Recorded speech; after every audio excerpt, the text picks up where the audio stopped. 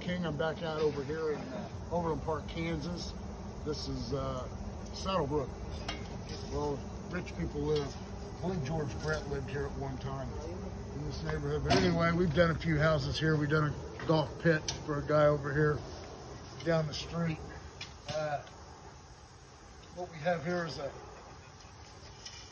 got a foundation wall sitting on a footing, and the footing has tilted, caused this gap up here.